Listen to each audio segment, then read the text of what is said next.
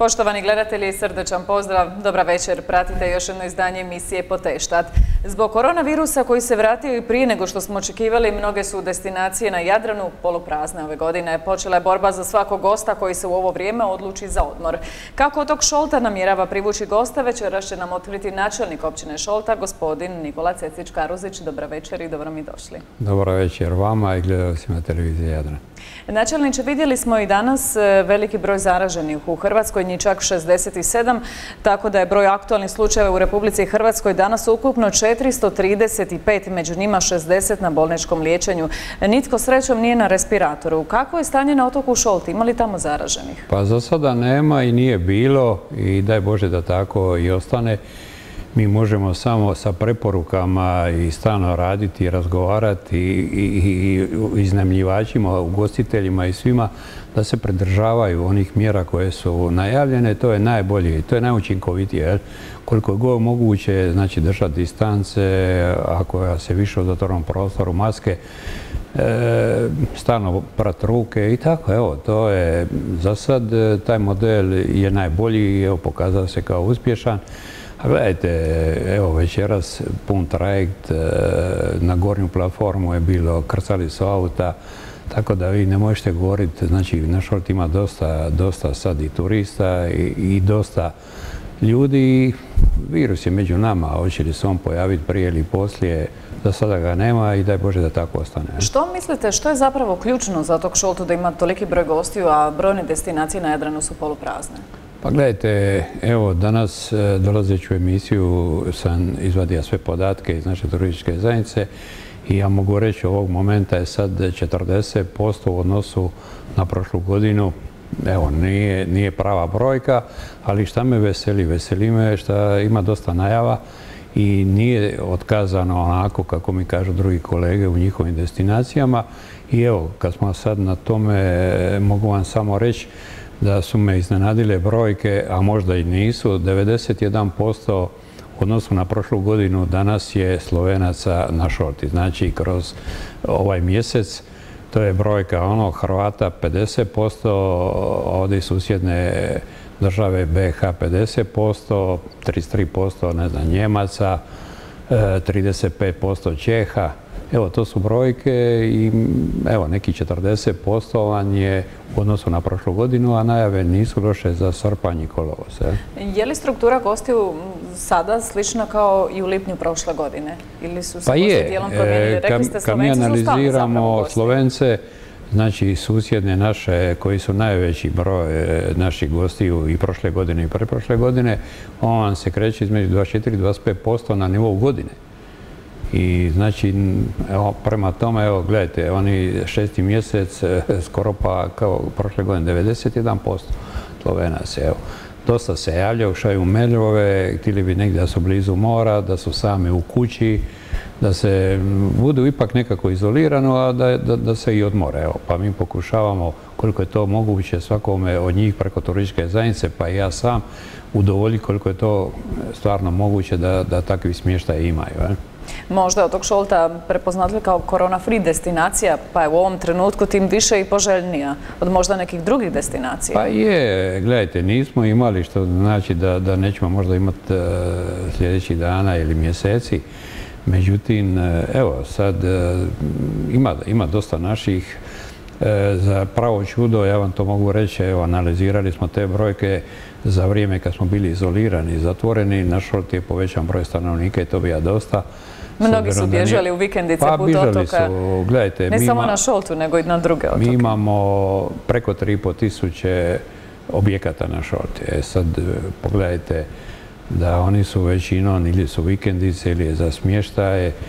Prema tome koristili su se, čak su, e, imali smo i prijavljeni gosti u koji su uzeli apartmane i našli su neko mirno mjesto, utočište sebi za vrijeme, za vrijeme korone, iako evo, kažem, ona se vraća, hoće li se vratiti na velja vrata ili mala, to ćemo vidjeti, ali evo, treba biti oprezan i treba sve raditi da se šta kasnije ili da se ne pojavi nikako kod nas. Jesu li ugostitelji spremni za ovu, kako se kaže, nova normalnost, e, maske, rukavice, dezeficijense, brojne... Pa je, imate, to god dođete, imate i dosta se pridržava.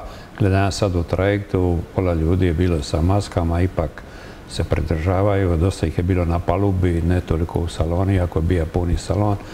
Tako da vidim da ne samo stari ljudi, nego dosta mlađih ljudi vode računa o tome što je to dobro. Evo, to nas jedino može u ovom, trenutku i spasiti i pomoći. A vi ne možete pobignuti od toga, mislim, život treba živjeti. Ne možete zaustaviti, svi mi živimo i naslonjeni smo na gospodarstvo, na ekonomiju i ne živimo samo od turizma.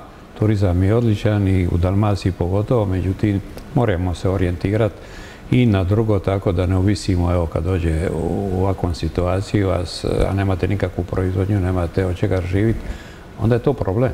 Mnogi su se tijekom onih e, mjeseci korone okrenuli poljoprivredi, ali o njoj pa ćemo nešto i e, poslije. mogu vam to reći da je na Šolti e, baš pokazalo se kao uspješno, puno maslinika je očišćeno, novih se rade, krči se, ja mislim da sad do ovog momenta bar nekih 15-20 destinacija i to ozbiljno.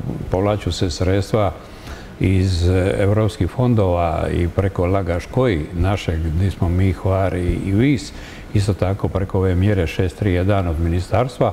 Tako da je napravljeno dosta, dosta novih maslinika i neka to mi je drago. Sad se e, po 100, 200, 300 maslina, što ja mislim da u zadnju godinu na šorti E, posađeno sigurno nekoliko tisuća stabala novih maslina, što me veseli. Vratit ćemo se na poljoprivredu tijekom emisije. E, ovih dana se i tekako analizira rad stožera. Koliko vi zapravo vjerujete stožeru? Ma gledajte, morate vjerovati struci. Ja ne bih špekulirao ovdje, je li on politički, nije li on politički, ali to su ljudi od struke i ja o tome teško mogu suditi, međutim, E, gledajte brojke, s obzirom na broj testirani, ja sam mogu ovako gledati, pratimo svi medije i svi smo informirani o tome koliki broj se testira i koliko je broj zaražen. Evo, u tome kad bi se testiralo dnevno, ne znam, tisuću, dvije, tri, pet, onda bi sigurno brojke bile i drugčije nego šta, su sada.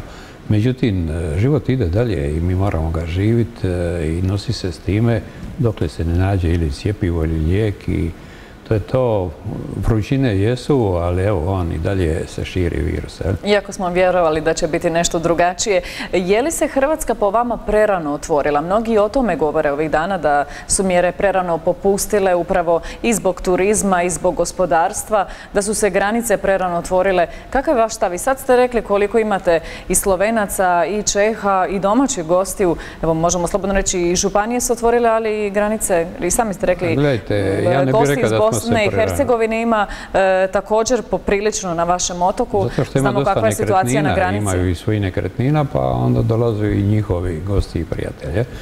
Ja ne bih rekao da, smo se rano otvorili, e, nego je pitanje koliko smo dugo stali zatvoreni. Evo, o tome bi ja sad rekao, kao uspoređujemo ove brojke sa onima koji su bili onda, onda se sad pitan jesmo li mogli i u onom periodu na ovakav način funkcionirati. Ne, svima je bilo novo, danas smo svi više, pogotovo struko, upoznati tim virusom, e, ne samo u Hrvatskom, nego u čitavom svijetu. I mislim da, da ćemo morati s njim živjeti dalje, ali ekonomija mora ići dalje bez obzira na virus i žrtve koje moraju biti, vidite i sami, to je većinom onih koji su kronični bolesnici, starije osobe i evo, treba posvetiti e, najviše brigu njima, kao što su, ne znam, e, evo, pratite i u domovima, to je najugroženija skupina i mislim da svi ostali oni koji rade moraju raditi, moraju doprinijeti jer nemamo mi od čega živjeti nego od rada. Mnogi traže spas u turističkoj sezoni sad pitanje kakva će sezona biti. Vi kažete za vas nije loša, u mnogim drugim općinama, gradovima, destinacijama nije tako dobro krenulo kao i kod vas. Ni Zadar, nažalost, nije pomogao u cijeloj ovoj situaciji. Biste li se vi upustili organizirati jedan takav događaj kao što je organiziran u Zadru i kakvo je stanje s vašim i kulturnim ljetom i događanjima? Hoće li se ono organizirati u kojem obimu, na koji način? Gledajte, napravili smo planove. Evo imat ćemo potvrdu tog i utorak na općinskom vijeću je sjednica. Ali evo, na turističkom vijeću mi smo donijeli neke odluke velike, e, kao što je koncert Klapa, nije samo bilo 10 klapa, to je 120 sudionika, jedno 700 ljudi u publici. To smo otkazali. Otkazali smo potezanje morduje, nešto ćemo na drugčiji način preko TV-a ovdje zajedno s vama napraviti e, Milna i Šolte i naše turističke zajednice da sam sve ne otkrivam, još ćemo mi doći do vas. Ali, gledajte, neka velika događanja nećemo, bit će dosta manjih događanja po mjestima, ali jer ne možete organizirati to da, da imate distancu od ne znam metar i po i tako dalje, takvi su prostori, bit će sve na otvorenome, ništa u zatvorenome. I evo, planirali smo umjesto da bude festival klapa, to jest e, svaku godinu tradicionalno Donjem selu, za ovu godinu smo predvidjeli klapu šufiti i pokušat ćemo ipak napraviti e, u publici jednu distancu, tako da ne prekinemo, ne prekinemo kao što nećemo ni mrdoju pa ćemo nešto simbolično napraviti. Evo malo sa medijima i ovo da, da se ne zaboravi da to idemo dalje. Trebamo čuvati sebe, ali trebamo čuvati one koji su došli na šoltu. Trebamo biti ozbiljni, trebamo biti odgovorni i prema tome ćemo se prilagoditi kakva bude situacija. Nije u pitanju, ja bih rekao, ni, ni financijski, nego u pitanju zdravlje ljudi i mi ćemo sve napraviti da očuvamo koliko je to moguće zdravlje ljudi i šoltana i oni koji dolaze na šoltu da zapamte šolti po dobru, a ne po I da se opet vrate u tu destinaciju. E, u ožujku kad se koronavirus pojavio, donijeli ste određene preporuke za sve stanovnike i posjetitelje otoka. Tako među njima su bile preporuke starima da ne izlaze iz svojih domova ukoliko baš ne moraju. Zabranjeni su bili svi skupovi događanja, zamolili ste za odgodu putovanja, radili su samo dežurni službenici. Kakvo je danas stanje? Je li se e, taj dio vratio u normalu, barem što se tiče rada općinske uprave? Što se tiče starijih i nemoćnih. Kako je tada funkcioniralo? Imali ste jedan tim kojim ih, ako se ne varam, i obilazio. Je, Imali potrebe još uvijek za tim? Pa gledajte, ja sad to moram reći, možda nismo poštivali e, kad je u pitanju bila općinska uprava, mi smo radili čitavo vrijeme. Mi smo radili čitavo vrijeme, nismo išli ono 14 dana kući, 14 komunalno poduzeće isto potpuno e, funkcioniralo i radilo je. Imali smo i ja ovdje moram pohvaliti i zahvaliti se volonterima, bilo ih je 27 koji su vodili brigu o starijim nemoćnima u svakom mjestu, bilo organizirano, sve što je bilo potrebno. Naši vatrogasci, stožer je odradio odličan dio posla, policija vrhunski, vatrogasci i mislim da i naše, jasno, medicinsko osoblje. Znači, sve skupa je to dobro funkcioniralo.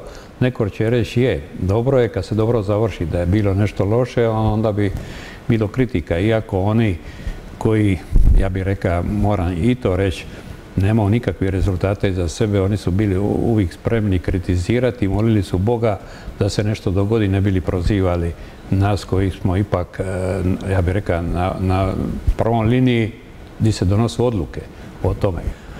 Prema tome, evo, ja još moram e, reći da e, iz e, Češke jedan investitor na Šolti darova je 2000 maski vonaka. Mi nismo mogli nabaviti 2000 pari rukavica. Isto tako, reću ga imenom i prezimenom, Ivo Buktenica na svaki utorak sa svojim gliserom o svom trošku nosija krv na analizu jer krv mora u roku dva sata biti u laboratoriju i evo, to, ovo su neki momenti gdje ipak treba znati da su uskočili i da su napravili, e, ja bih rekao, ogroman dio posla, nama napravili jednu veliku uslugu, to jest e, svim otočanima koji su živjeli u tom momenta na šolti dok smo bili zatvoreni.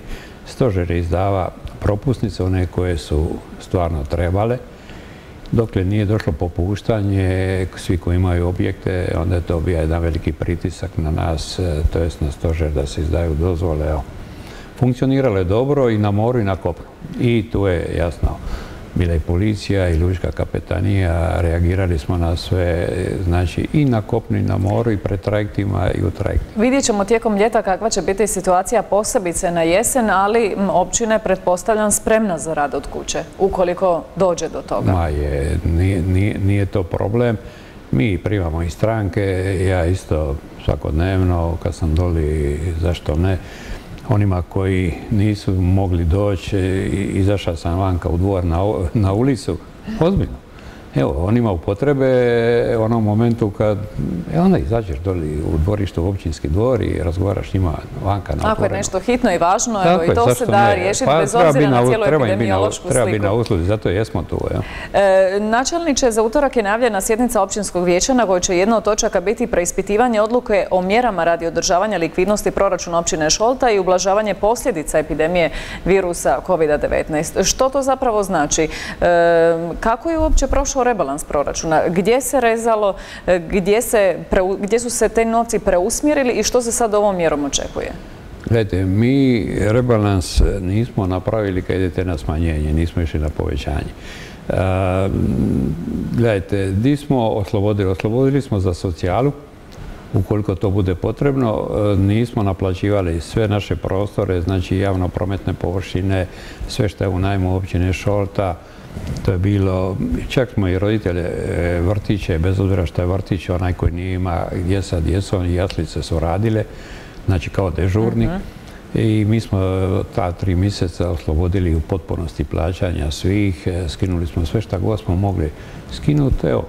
Ali mi što se tiče likvidnosti i proračuna ga održavamo i nećemo doći u situaciju da ćemo imati problem s time. Znači, ograničili smo, smanjili smo tamo di, investicije koje nisu počele, njih smo zaustavili. One koje su bile u tijeku, kao što je deponi Borovik naše, e, mi smo išli do kraja jer je to investicija preko 3,5 milijuna kuna, 75% je e, sredstava fonda i nismo mogli neke zaustaviti. Ali sve ostalo, znači udrugama, tamo gdje nismo, Znači nismo išli na, evo recimo jedan natječaj od 500.000 kuna za asfaltiranje puteva makadamskih ulica, stavili smo ga na čekanje. Ali smo isto tako natječaj koji smo dobili za betoniranje. Zašto? Jer smo od fonda, to jest od ministarstva regionalnog razvoja, smo povukli novce i nismo morali ići naprijed. Ja? Jer nećete ono što dobijete sad propustiti u priliku pa ne iskoristiti. Znači na taj način smo... Dobro, ali bilo je dovoljno novca da možete zapravo pomoći i sami ste rekli roditeljima djece vrtičke dobe i možemo i sada i zato ćemo napraviti reviziju ovoga tri mjeseca što je bilo, što možemo još napraviti da pomognemo gospodarstvo, pogotovo oni koji su u situaciji da ne može očuvati e, svoja radna mjesta i da bi došlo u pitanje da moramo nešto, ne da je Bože, zatvoriti. Ali proračun se manje svakako puni. Blagajna se ne puni onom dinamikom kako je to bilo protekle godina. 3 milijuna kuna je u ovom razlogu manje. Pa mi predviđamo da će negdje biti 3 e, milijuna kuna proračun manje ove godine nego što je bio prošle Šolta nema prireza, dakle e, najveći prihod do sada je bio od nekretnina. Pa idu Kako mislite dalje? Je li idu i dalje nekretnine idu, ili nešto dobro nekretnine, Idu dobro građevinarstvo u čitavom ovom situaciji naše građevinske firme su sve radile. Nije se zaustavilo to ništa osim ljudi ako su vanjski, ako su im bili iz BiH pa su morali dobiti propusnice, nisu došli. Oni koji su bili izvani, a ostali su na šolti, građevinari su im iznajmili, svi oni koji se bavili s poslom iznajmili su i na apartmani, oni su stali doli i radili. Tako da nije, nije baš na šolti. Nije život stao. Nije stao. Radilo se i evo, investicije idu dalje, to me veseli, nekretnine idu. ja mislim da ove godine će biti negdje na razini prošle godine. Vidim po sadašnjem stanju proračuna, tako da, evo, dobro se po tom pitanju nekretnina prodaju i poreza puni. Jedno od točaka na općinskom vijeću bit će turistička sezona 2020. godine. Što će se naći na tom? E, kakvi su planovi za turističku sezonu? I sami ste rekli, dobro ide trenutno. Što se treba? Što vijeću treba odobriti? je, što se tiče dolazaka u apartmane, to će se negdje vrtiti e, kad zbrojimo čitavu sezonu negdje na neki 50% od prošle godine. Ali ja ne znam koliko dobro će biti nautički turizam, jer on je zadnjih godina bija bum na šolti. Oni su kasno krenuli. Sedmi, osmi mjesec i deveti e, će biti dobar. Jer šta je, mi imamo čarter bazu u Rogaču, ja vidim, e, pola brodova je izašlo vani, razumijete, nije već skoro mi se znam pa izašla dva, pa pet, pa tri, nije onim intenzitetom kako je to bilo prošle godine.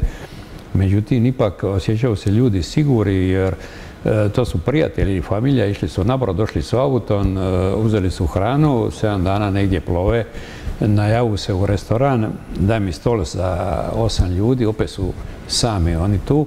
Tako da ima, ima tu prostora i mislim da bit će dobro, evo. Treba biti optimista i ja bih rekao da ovu godinu treba pokriti bar onako materijalne troškove svima onima koji se bavu turizmom, a da se treba već sad spremati za iduću godinu i u najavama i odraditi e, i turistička zajedna i općina i svi oni koji se bavu turizmom na Šolti. Ali evo, ja kažem... Dobro, ali je li Šolta spremna, s obzirom da ova točka ide na vijeće, je li Šolta spremna e, prihvatiti osobu koja se, na primjer, zarazi ili koja na otok dođe zaražena? Gdje će ta osoba? Imate li razrađenu situaciju? Imamo razrađenu situaciju, imali smo i do sad i imamo i sada. Naš stožer se i prije dva dana sastaja i mi smo i u turističkom zajednici napravili sve da osiguramo siguran boravak na otoku Šolti, a i znači imamo dobru suradnju i sa Županijom, sa gospodinom Lukom Brčićom i s njima smo se čuli i osigurano ono što nema na Šolti, osigurano je u Splitu, tako da svi oni koji dođu mogu biti mirni a imamo osigurani transport i prevoz, tako da evo, ja ne bi o tome sad govorio. I liječnika. Tako je, tako je. I mi ćemo napraviti sve da se osjećaju siguri. Ukoliko se i pojavi, imamo i za to rješenje. E, što je sa uvalom Šešula? Čekate e, sjednicu Županijske skupštine, mislim da je ovih dana s nestrpljenjem svi iščekao, očekivali smo je tijekom u drugoj polovici šestog mjeseca, pa ajde početkom sedmog, sad vidjet ćemo kad će se ona doista i održati i vi je s posebnim razlogom čekate. Pa čekamo e, Županijsku skupštinu, ona je obećana da će biti u sedmi mjesec. Zašto? Sve je riješeno za e, tu investiciju koja čeka više od godinu dana papirologiju u knjižbu na sudu e, za Marinu u Šešuli gdje mora biti natječaj ko će dobiti znači, na pomorskom dobru natječaja. I ako to bude, znači to neka dva, tri mjeseca bude li sve u redu, imat će se papiri i onda onaj koji dobije će u šest ili devet mjeseci napraviti marinu kao što je napravljena već i u Maslinici. Ona je nešto veće kapaciteta nego što je u samom Maslinici.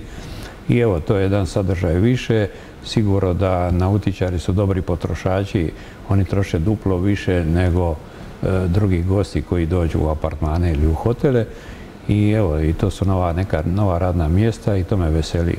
Ovo je vaš treći mandat. E, nekako puno toga ste realizirali, ali puno toga tek čeka na svoju realizaciju. Neki projekti su i zbog korone možda dijelom usporeni, ali bit će, ako ne u ovom mandatu, možda u sljedećem. E, možete li kratak rezime napraviti s čim ste posebno zadovoljni u, te protekle, u ta protekla tri mandata, a što zapravo ostavljate za dalje? Što nekako smatrate da jednostavno nije moglo ići u tom razdoblju? Pa gledajte, evo i kad počnete napraviti, onda će reći evo, napraviti se što si napravi, ali jedan rezime se mora napraviti i podvući crta iza nekog zadnjeg mandata koji bude. A ja bih rekao, evo samo na brzinu nekoliko značajnih velikih projekata u ova tri mandata, da smo napravili u Grohotama mrtvačnicu, da smo luku Rogaču, koja je ozbiljna investicija, da smo napravili novu cestu e, Hrvatske ceste, zajedno s nama napravili novu cestu iz Rogača do Grohota, ona je sama vrijedna 25 milijuna kuna. Luka Rogać je vrijedna 8 milijuna kuna, Mrtvačnica 3,5 milijuna kuna. Napravili smo dvoranu i školu 15 milijuna kuna, od toga 11 milijuna i 300 europskih sredstava. Vrtić, e, novi vrtić i jaslice. Evo, ove dane je napravljena, puštena tržnica, nije još sva upremljena, ali smo je ostavili u funkciju. Napravljen je dan kulturni centar, galerija, nova knjižnica, e, evo, kanalizacija prin tri dana je spojena i ove dane se priključci 100 i 10-15 kuća će biti spojeno, znači proradile kanalizacija stomorska, ona vam je 15,5 milijuna kuna u dvije faze. E, otvorili smo, otvorili smo prošle godine e, dio parka i spomeni domovinskom ratu E, dobijen je natječaj utorak počinju radovi u park u Grohotama u sklopu općine 100.000 eura, od toga 90.000 europskih sredstava. radimo, mi smo samo u zadnje tri godine pet kilometara asfaltirali cesta o svom, trošku, znači makadamskih puteva. Moramo reći da je samo proračun 25 milijuna kuna, čisto da pa se zna kolika je vrijednost tih e, projekata. To je, ovako nabroja sa neke veće projekte. A s čim ste nezadovoljni? Moram vas Samo još moram reći, Županijska lučka uprava E, očekujemo natječaj jer e, izdata je građevinska dozvola i evo nije pravomoćna, e, nije pravomoćna jer se jedan mještan iz Tomorske žalija i išle na drugi stupanj u Zagreb. Ta luka bi negdje bila teška 20 milijuna, mi očekujemo na jesen da će ipak biti raspisan natječaj i da će se dobiti izvođači, da će u ovom godini početi radovi. Isto Županijska uprava za ceste je preuzela kompletnu dokumentaciju koju smo zajedno radili i na izdavanju je građevinska dozvola, ove dane će biti izdana građevinska dozvola obilaznica Stomorske, velika i skupa investicija. Znači, gledajte, još evo ovako nešto interesantno, čekamo županijski plan da bude, u njemu smo evo nominirali da bude tunel između Šorte i Braća, šta bi neće biti sutra, ali evo europska sredstva, razgovarali smo na nivou i Europe, i ministarstava i tako dalje i sami. Dobro, koliko je to zapravo sad realna priča vezano za taj tunel? Pa Znamo da mnogi planiraju tunele u pa, svojoj blizini, ali jednostavno to ne ide tako brzo. to vam je realno da bude, neće biti brzo, ali je to realno da bude jer treba odraditi e, studiju utjecaja na okoliš i sve ono što treba, dokumentaciju. Ali, evo, obećano je poslije novih Pelješkog mosta i još jednog tunela na Zadarskom području ispod mora, onda bi šorta došla na red i. Jel? I evo šta još mogu reći da se priprema ozbiljna investicija u Šipovon, u toj kraj Maslinice, ozbiljan investitor, tako ga mi procjenjujemo da iduće godine bi počela gradnja hotel sa pet zvijezdica, već sada traži 170 e, radnih mjesta će biti traži ljude koji bi tamo radili da prođu edukaciju, obuku i tako dalje. Isto tako država je podržala, to jest ova vlada, e, Livku od 12 dozvola izdato 11, čeka se potpisivanje ugovora s HEP-om, Hrvatskim vodama, vodovodom Split, Šolton i Braćom radi infrastrukture i to su, to su zadnji koraci prije samoga početka. Je li, taj projekt, kad ste ga već sad spomenuli, pa ćemo se vratiti na ono pitanje koje sam vam postavila, još nisam dobila odgovor s čim ste zapravo nezadovoljni, vratimo se samo kratko, je li koronavirus i cijela ova situacija zaustavilo, e, bar donekle, taj projekt Livke, s obzirom da znamo da je uvršten među strateške projekte Republike Hrvatske prošle godine, čini mi se 2019. Taj projekt se očekivao da će postati strateškim projektom 2016. ali evo nikad nije kasno. Što to zapravo znači za taj projekt, e, za projekt gdje je zapravo privatni kapital pa gledajte, on je predviđen u dvije faze i takvi su ugovori potpisani sa vladom Republike Hrvatske, da će se on e, do konačnog završetka u pet godina završiti, ali tri godine je prva faza. Do 2023. Tako je, 2023. i onda do kraja, znači 24. to jest u Laskom 25. godina završilo bi se kompletno sve. U prvom fazi je i hotel sa pet zvijezdica, znači da nije na kraju nego je na samome početku ali gledajte, je malo usporila administracija dva, tri mjeseca jer ljudi su radili po ministarstvima iz kuće, stano si s njima u kontaktu, onda im je to tamo u redu, onda nije dostupno ovo, nije dostupno ovo. A koje primjedbe, evo ja ću vam odgovoriti na to pitanje, imam primjedbe pogotovo na ministarstvo imovine. Mhm. Godinama se borimo da nešto dobijemo, i vi dođete... Što konkretno? Pa evo, konkretno tražili smo vojarnu. Konkretno tražimo za dom za starije i nemoćne. Napravili smo i dokumentaciju, idemo sad na, glavni projekt. Zemljište koje bez problema, oni su ga obećali, ali dođu vam papiri kod njih i onda e, vrijede tri mjeseca. E, od porezne, od katastra i onda onima nakon pet mjeseci odgovore kako, a često smo gori, kako su papiri prošli tri mjeseca, trebate ih hvatiti ponovo, onda ih izvadite ponovo. Onda se napravila procjena tog zemljišta i kad je trebalo poći na vladu, onda neka od e, referenti ili ne znam već ko je to gleda tamo, kaže je, ali na snimci se vidi da je to balotaško igralište, jedno to nije procijenjeno pa vam vrati nazad da procijenite i balotaško igralište, kako ona kaže, boćarsko, jel? Mhm. Tako da možete se ljutiti, ali evo, ja sam uporan i do toga će doći i mi ćemo do, do građevinske e, dozvole za dom za stari nemoćne u ovom godini i realizacija, znači trebala bi početi gradnja kako je najavljivan iduće godine.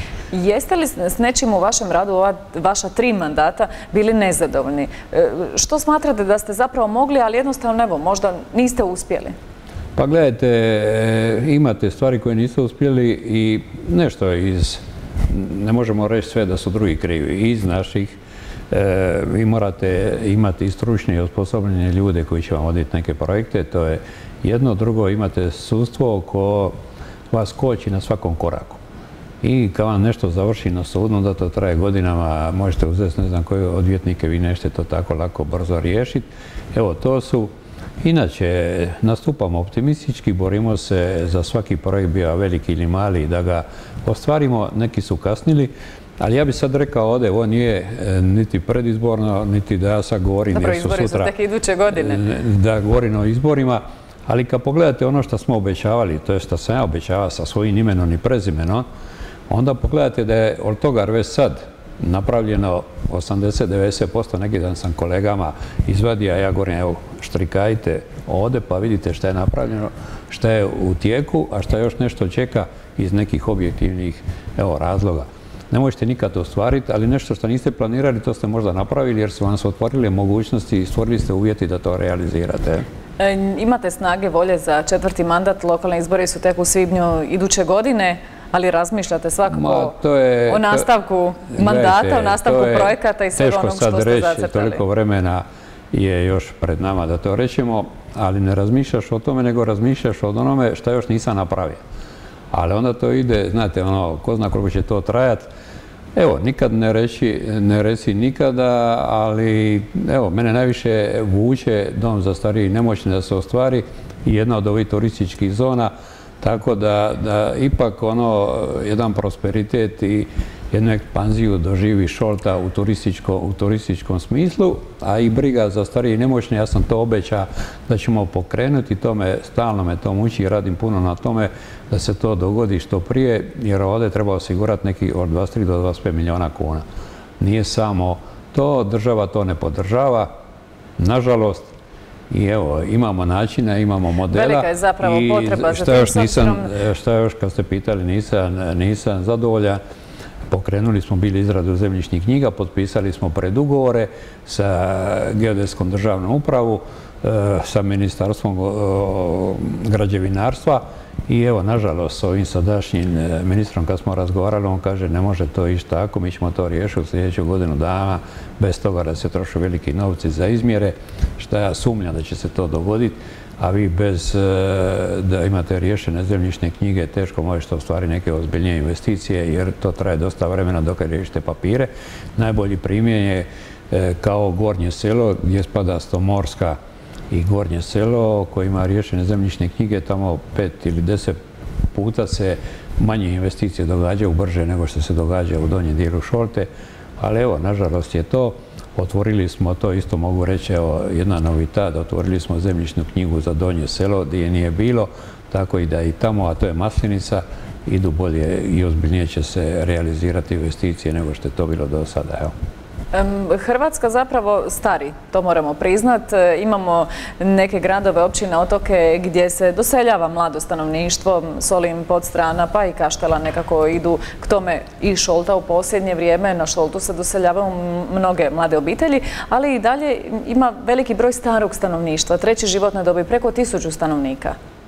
Pa imamo mi nešto malo više od tisuću oni koji su penzioneri. To imamo podatak iz Ministarstva regionalnog razvoja upravo radi subvencije autobusnih karata, pa imam ti podatak e, je točan. I dolazi dio mladih obitelji, mi im pokušavamo pomoći i osigurati ako je to moguće e, radno mjesto, ali evo, to veseli šta raste broj djece u vrtiću jaslicama i šta raste broj djece u, školi.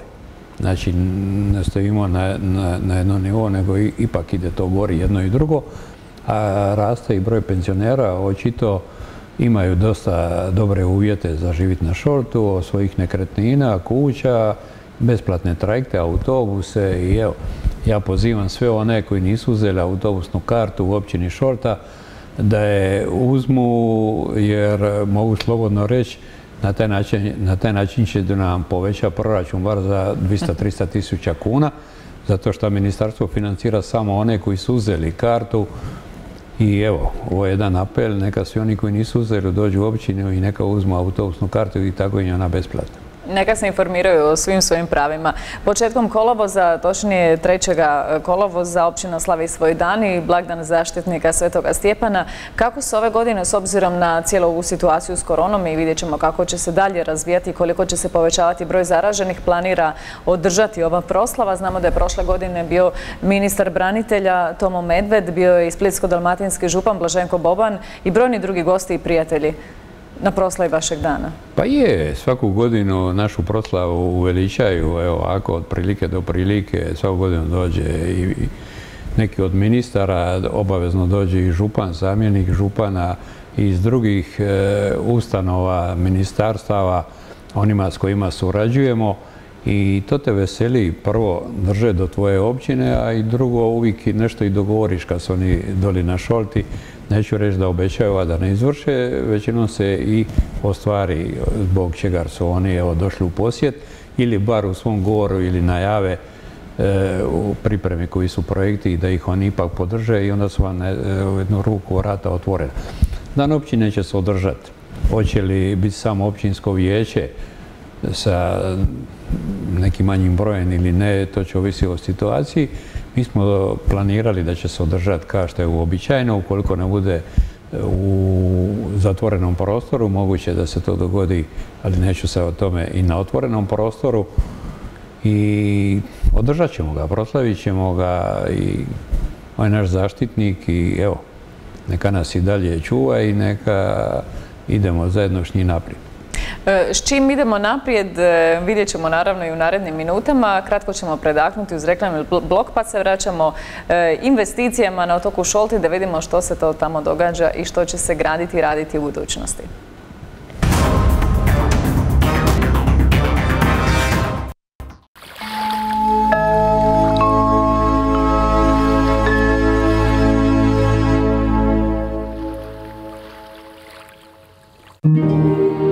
Hrvatska je poznata po vrhunskom mlijeku. Tako ga u ostalom ocjenjuje i Europska unija. Moja sestra i ja svaki dan proizvodimo mlijeko. Najvažnije je da je svježe i kvalitetno. Tako kažu i naši ljudi koji najviše vole da je baš domaće. Hvala vam. Hvala vama.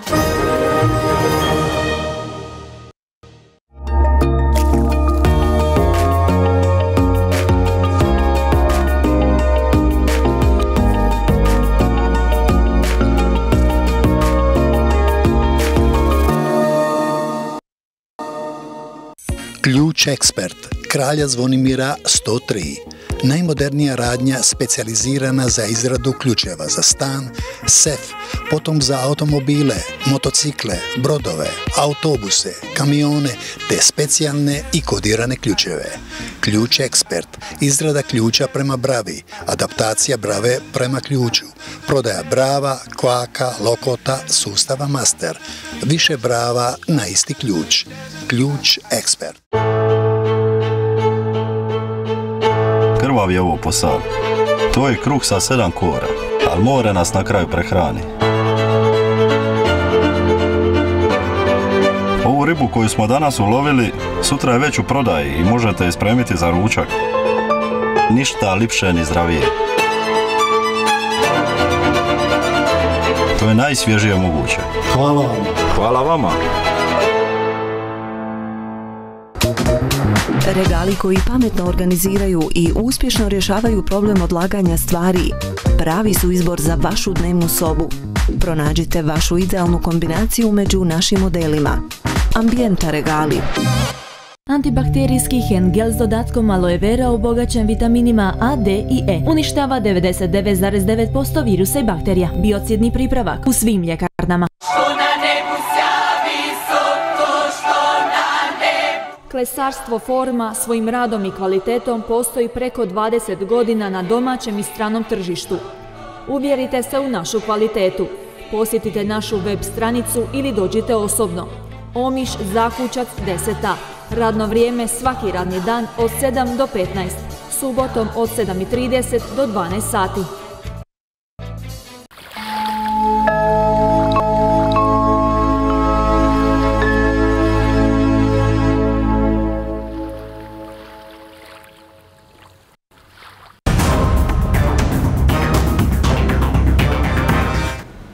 Dobrodošli natrag i dalje pratite emisiju Potešta sa mnom u društvu je načelnik općine Šolta, gospodin Nikola Cecić-Karuzić. E, znamo da se tijekom ljeta nije moglo ni graditi ni raditi e, posebice na Jadranu. Vi ove godine promišljate o mjerama za e, građevinare. Dakle, dozvolili biste im da rade 7. i 8. mjesec, ali samo uz vašu dozvolu. Vi ćete procijeniti da, to je na prošlom općinskom vijeću donošena takva odluka da svi radovi uobičajeno do 1.7 znači budu dozvoljeni i od 1.9. od 1. rovina pa dalje da znači nema zabrane u deveti mjesec, niti je bilo zabrane u šesti mjesec. A sedmi i osmi mjesec ćemo izaći na teren, znači ovlastili su načelnika. uh ja ću sa svojim službama to pogledat.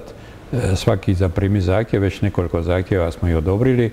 Ukoliko to nije rad s neki uzmore, bagerima i ometa neku turističku djelatnost, onda ćemo dozvoliti da se radi kuća, mijenja krov, uređuje fasade, nemam pojma.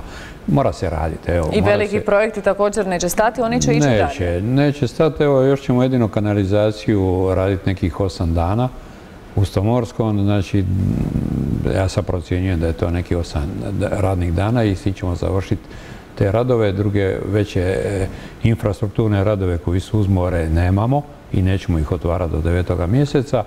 A ovo pojedinačno kuće, obrađivanje zemljišta, priprema se dosta zemljišta za sadnju novih. Oni jesu unutrašnjosti otoka, ali to smo dozvoljavali i prije, dozvoljavat ćemo i sada. I gradnju, kuća, ukoliko to nisu neki veliki zahvati, ja bih rekao pikamiranje bagerima po čitavi dan, a ove ćemo procijeniti gdje se nalaze u kom zonu i, ne, i od nekih sati ćemo dozvoliti, od nekih sati ne i šta se može, šta se ne može. Veliko gradilište je zapravo Stomorska i malo prije smo tijekom emisije spominjali, dakle sad kad se spoji ovih oko 120 kuća, je li Stomorska po pitanju kanalizacijskog sustava završena? E, sustav je kompletno završen, e, već sada on je, on je pušten u rad, samo će doći priključci, a priključci je već napravljeno e, negdje 70-75% od tih 120 i ovih osam dana će još se završiti ovi koji su bili na rivi, jer u, sustavu je bilo more i oni su ga morali izbaciti vanka i nije se moglo spajati jer na šakte izlazilo more vani jer e, prva faza je završena prije nekoliko godina i sad je napravljen prošle godine ispust. Kroz čitavu šetnicu od 850 metara koja ide do ispusta, on ide na dubinu vani nekih 65 metara i jasno pročišća sve ono što je po svim standardima koje, kojima je i s tim ćemo završiti radove u Stomorskoj i neće biti drugi veći radova u Stomorskoj. Šalba je dakle zaustavila luku Stomorska vrijednu gotovo 20, čini mi se 18 milijuna kuna. E, kad možemo očekivati da će biti riješena ta žalba i kad će se napokon krenuti? Pa gledajte, Županijska lučka uprava je poslala požurnicu na ministarstvo, ja sam razgovarao s njima, oni kažu ne pošalju požurnicu da se to ubrza i da se ta žalba, žalba riješi da može ići natječaj za izvođača radova. I mhm. drugo ništa ne čeka, osigurano je su novci, to je isto iz evropskih sredstava, kao što je, ne znam, za Omiš, za Kaštela, za Šolto, nekoliko na pet, ja mislim, destinacija se počinje raditi te luke. Evo. A od ovih... Obilaznica Stomorska također ide, čeka se građevinska. Stomorska se neće sad raditi, nego evo ono je na izdavanje građevinske dozvole, onda će ići natječaj i onda će postignuti svih tih, kad završu natječaj, ići e, natječaj za izvođenje radova i mislim da bi to moglo isto krenuti doće godine, tako da Luka Stomorska je povezana sa tom obilaznicom Stomorske i ulaskom, jer to je bi pristan za katamarana, ali bit će i rezervna luka za trajekt. Građevinsku dozvolu ima plaža u Stomorskoj Velidolac? Imamo dvi e, građevinske dozvole za plažu, jednu u Maslinici, jednu u Stomorsku. I evo natječaj će biti županijski, sa pročelnikom smo razgovarali i on podržava da jedna plaža sa Šolte e, koja ima sve, sve papire bude čak nominirana kao županijska plaža. E, što se tiče odmarališta slijepih, ono je prodano. E, tu će niknuti jedan hotel, odnosno uređuje se hotel koji tekako nedostaje cijeloj općini. Tako je, adaptacija tih prostora u hotel sa tri zvijezdice. On je tu negdje u završnom fazi, za ovu sezonu ne, ali za idući će sigurno biti spreman. Što se tiče ostalih važnih projekata, e, vi ste spomenuli da ovaj tjedan ide park u Grohotama, u utorak će zapravo početi radovi, jedan veliki projekt e, oko 100 tisuća eura. Tržnica se također oprema premda radi, ona će još uvijek nije završena kako bi trebala biti, kako je planirano. Da, jer oprema, evo, pregovaramo sa, moramo napraviti natječaj, rok je 30 dana, pripremili smo ga sve i ovaj dan će biti objavljen. Tako da tamo će biti pekarnica i prodaja, znači tisak koji je inače u korisnik, bit će za voće, a posebno će biti na lijevom strani banci za voće, povrće, već je prodaje se i riba, ima onu rasladnu komoru, evo, završavamo. s općine Šolta. Pa. ono što imate. I, tako da, evo idemo korak po korak naprijed i kad i trg se oslobodi gdje je sad tržnica sa svim novim kiosima. Napravljena je dokumentacija za uređenje tog trga, tako da centar e, u Grokotama, evo kao glavno sjedište otoka i općine i škole i ambulante i, i policije, sve ustanove su tu da bude ipak doveden kraju i da, se uredi i da se stavi u funkciju onako kako je to planom i predviđeno. E, mnogi su se tijekom proljeća, kad nisu mogli odlaziti s otoka, e, okrenuli poljoprivredi.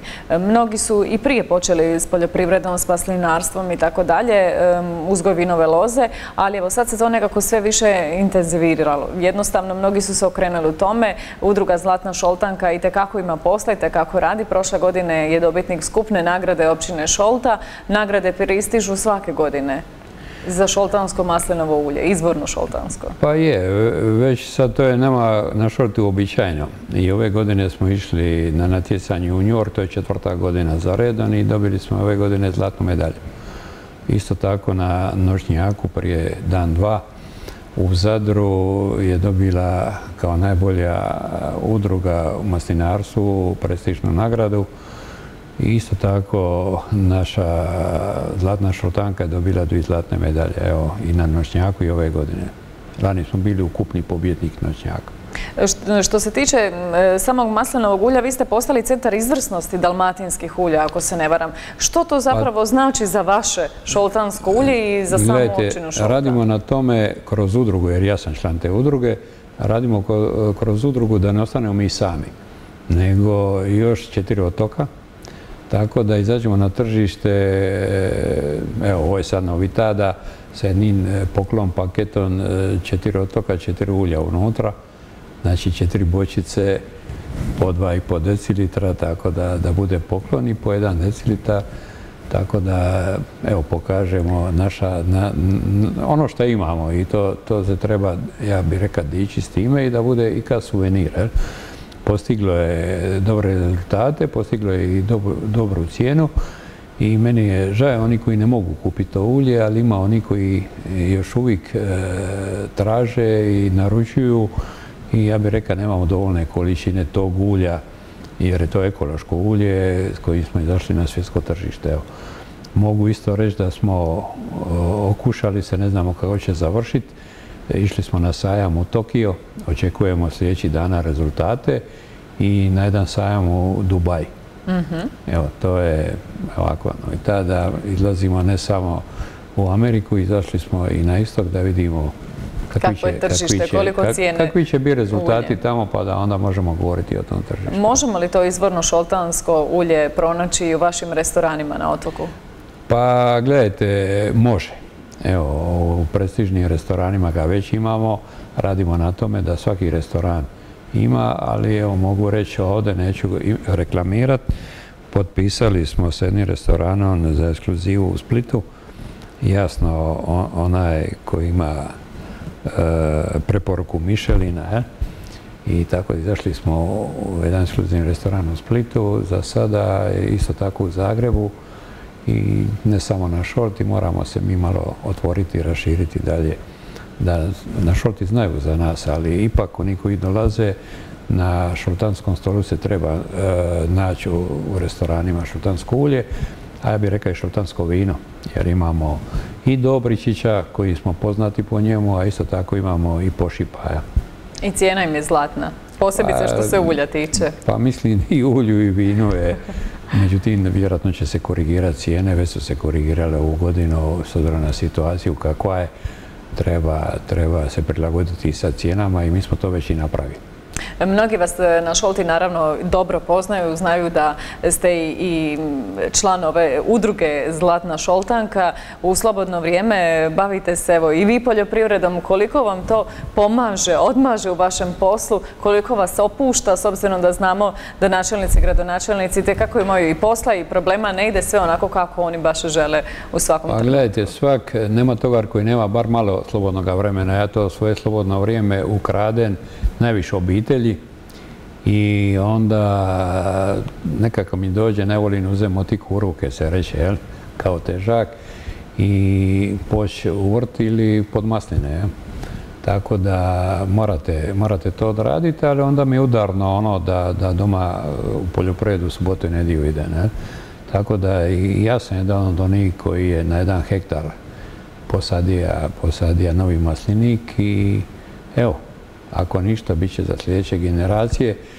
Naši stari su nas učili, znači roditelji, dida i nema svaki muškarac u familiji mora posaditi bar 20-30 stabala maslina, neka ostane na šolti. Koliko je novih maslinika na šolti? Pa ima ih dosta.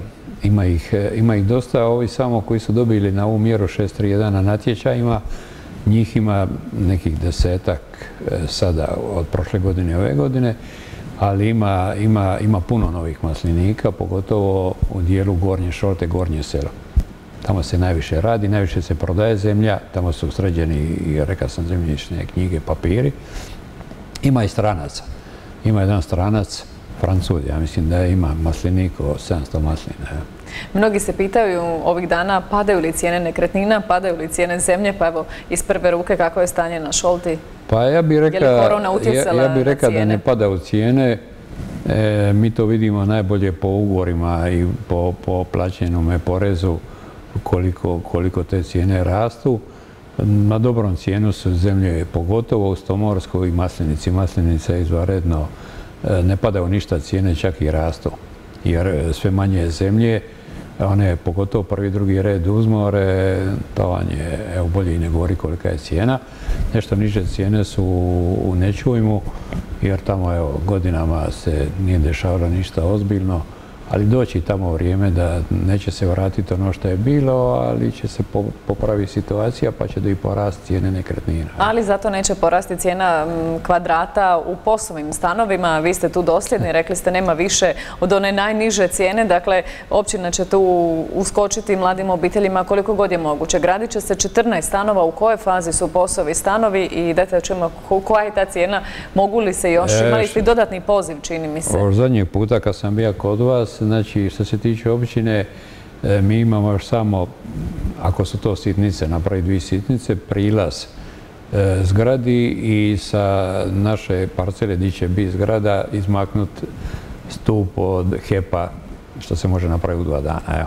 Mhm. E, sve ostalo smo predali APN-u i APN dalje vodi, radi se glavni projekt i kako sam ni rekao, do kraja godine će se dobiti građevinska dozvola, prema mojim informacijama, moglo bi čak i krajem godine stavi se kamen temelja da se počne, počne i raditi.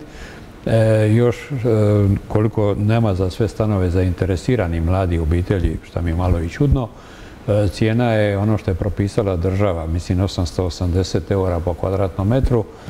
Ja sam obeća i ja to obećanje, ukoliko ja bude, ali mislim da, ću biti taj koji će potpisati još i, ove ugovore sa e, APN-om, da će ostati cijena ona koja je država odredila, to je 870 eura, da općina neće uzeti onih svojih 200 eura po kvadratnom metru. Iako smo mi kupili zemlju i osigurali infrastrukturu, Evo, to je taj poticaj. Oni stanovi koji nisu se prodali, ja sam u ime općine potpisao da će ih općina uzeti pod istim uvjetima e, koji su ponuđeni i e, građanima. Što znači ako ostane viška stanova, da će ih općina otkupiti e, na rok od 27 godina s 3 godine počeka.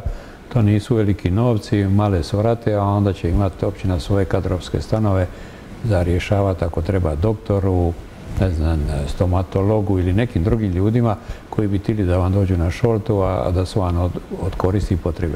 Stanove mogu kupiti i ne samo šoltani, nego oni koji trenutno ne žive na šolti, ako se ne varam, ali se naravno moraju preseliti na Hrvatske, ali prvo ide, gledajte, ako ima sa šolte, imaju uvjete, onda vi iz Splita ili Zagreba ne možete ih prestići u tome. Ali ako S obzirom da evo ima i stanova koji još uvijek nisu rasprodani, dakle mogu i oni izvan Gledajte, mi smo napravili tri puta natječaj. Znači mi možemo ako bude zainteresirano i ko bude slobodni stanov napravi još jedan natječaj. Sve dokle, jer zašto? E, stanovi su isprojektirani prema obiteljima koji su se javili. Mhm. Znači koliko ima u djece, kolika je obitelj, tako su i, i projektant, to jest e, arhitekti su isprojektirali, projektanti i arhitekti su isprojektirali zgradu na način e, prema članovima obitelji i obiteljima koji su se javili na natječaj. I mislim da to ne stoji ništa i da se, evo, radi se glavni projekt i treba za po meni negdje 9. 10. mjesec dobi građevinska dozvola i ide onda natječaj. Prošle godine ste načelniče 7. i 8. mjesec izmjestili svoj ured e, u mjesta po Šolti. Ove godine Hoćete li seliti ili ostajete i dalje u Gle, vi ste mada pitali, nije to po uzoru na bivšu predsjednicu, nego dosta ljudi nekako, znate, ugrohote, pa i starijih ljudi, pa im je i problem i tako dalje, pa sam rekao, ajmo bar tamo gdje više ljudi želi razgovarati s načelnikom, onda sam bio u Slomorskoj jedan dan, drugi dan e, smo isto odredili termin u Maslinici. Evo, ja najavljujem, ukoliko nas korona ne spriječi u tome, jedan dan ćemo biti e, u Nečuvimu, a jedan dan u Gornjem selu za ovu godinu. I svi oni koji su zainteresirani ne mogu ostale dane doći? Tu Grohote ne treba, tu sam u Grohotan, srednje selo tu, Rogač, mi gravitiramo. Znači, tu smo još od većih mjesta, pogotovo u ljetnom periodu i neću i koji ima dosta, dosta problema. I zašto ne? Ja ću doći tamo iz problemi da, da čujem ljude i da vidimo što možemo riješiti. Ono što možemo riješiti odmah ćemo rješavati odmah, ono što ne možemo ćemo staviti na papir pa ćemo vidjeti kroz proračun jer vi kad formirate proračun za sljedeću godinu onda možete staviti nešto u proračun pa onda je to izvršiti e, ono što ste i obećali. Načelniče, hvala lijepa na ovom gostovanju izdvojenom vremenu. Hvala vama što ste me pozvali i pozdrav e, svim šortankama, šortanima i onim koji će boraviti na šortu. I koji će tijekom ove turističke sezone dolaziti na šoltu i tamo odmarati, naravno. Poštovani gledatelji, stigli smo do kraja još jednog izdanja emisije Poteštat. Budite s nama i za tjedan dana. Do tada srdačan pozdrav i laku noć.